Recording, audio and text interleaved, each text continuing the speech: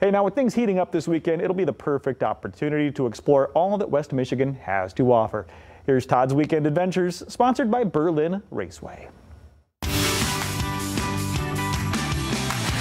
Well, as you know by now, it is the final weekend of tulip time in Holland, and the weather looks amazing. A couple of notable events on Saturday. Hopefully, if the rain holds off, the Volks Parade or the People's Parade, kicks off at 1 p.m. in the afternoon on Saturday with the traditional street scrubbing, with hundreds dressed in traditional Dutch costumes, cleaning the way for the floats, bands, and other entertainment, including those Dutch dogs at the tail end of the parade. They're always a big hit. This parade typically lasts about one to two hours. Hey, don't miss out on the grand finale fireworks at dusk as well. Come early, claim your spot at Kollen Park where you'll find activities, live music, and food. Looking for a free family-friendly movie? Well, the Frauenthal Center in Muskegon is showing the animated film Raya and the Last Dragon. This is the final film in the series offered to all at no charge. No tickets are required. All movies begin at 3 p.m. with the doors opening at 2.15 in the afternoon.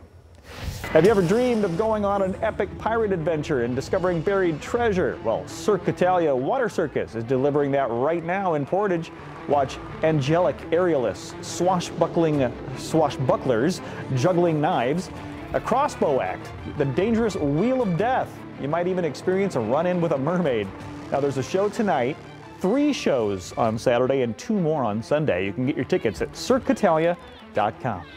And it's opening weekend at Lewis Adventure Farm and Zoo in New Era.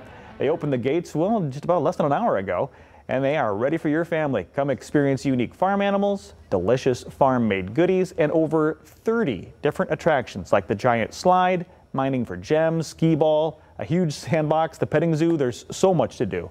Admission is $15 online, $18 at the gate. And season passes are a good opportunity to save some money. They're sold for only $60. You can see more at visitlewisfarms.com.